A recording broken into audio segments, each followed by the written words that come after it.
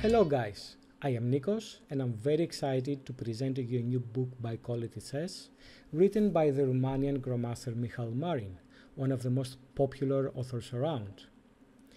And in an opening where Mihail has more than 20 years of experience and many readers from all around the world have been asking for it, a book on the Pirc defense.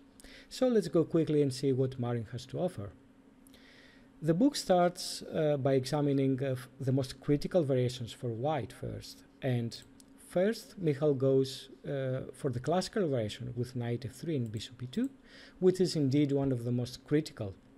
Here, Mihail goes for the most well analyzed and sound theoretical continuation, which is c6, and after a4, queen to c7, followed by rook to d8 and e5.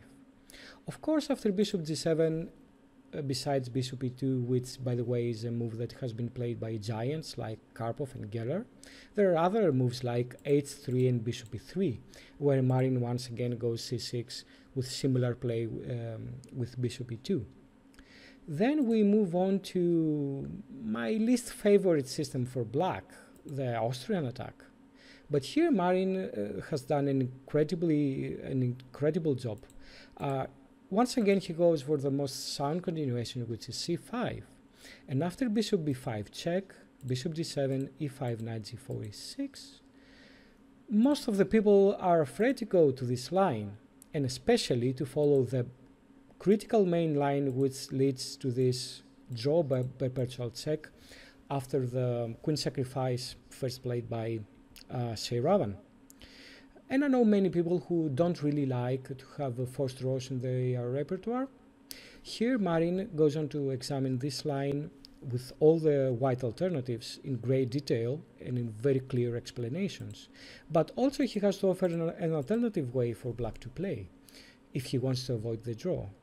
And I think he goes on for a couple of, pa of pages to, to explain what is going on here. Really impressive stuff. But if we go to the move c5, actually today there is another trendy continuation for white, which is after the move queen a5, the move queen d4, which, if I'm not mistaken, was um, suggested by one of the Quality Chess editors, Andrew Greet, in one of his own books. And after that, the move got really popular. After castles, white doesn't really want to take on d6 because after knight takes e4 as you you see the e file will be opened and white doesn't really want bishop d2 and after uh, knight c6 queen c4 but once again here Marin offers a very clear uh, continuation for black.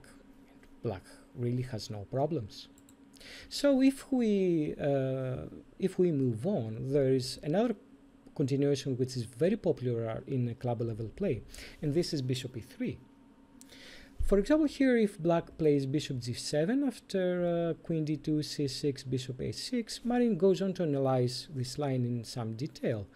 And uh, after takes takes uh, queen a5, he thinks that black should be quite okay. But uh, uh, his conclusion is that mm, black should play c6 instead.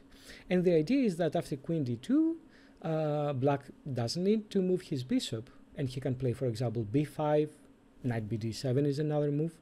And if white goes for bishop h6, black takes, and he's a full tempo up to the line we just examined. So with this idea in mind, after the similar bishop f4, once again c6 is recommended, and after bishop g5, once again c6 is recommended.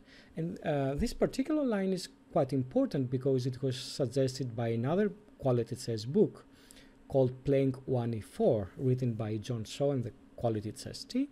And here Marin, after queen d2, um, recommends knight b to d7, which is a really nice idea, which we missed in the Playing 1e4 book. And after f4, which is the most critical, Marin goes for a quite different structure, and um, his analysis is quite impressive here, very convincing. So yeah, bishop c5 shouldn't be a problem for black after all.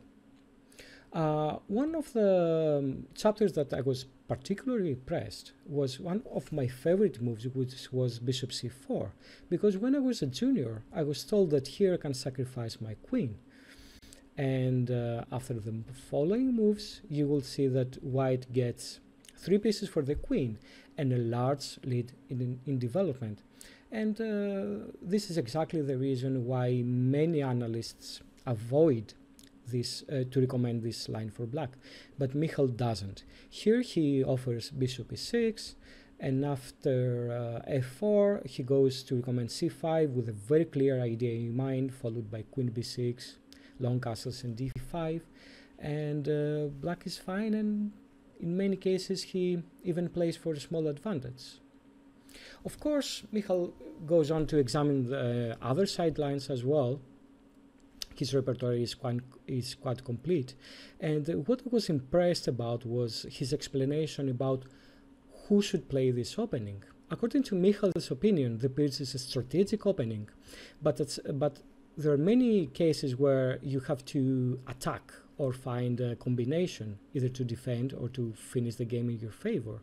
So really, uh, only um, if, if you want to play the Pirc successfully, you have to be a universal player.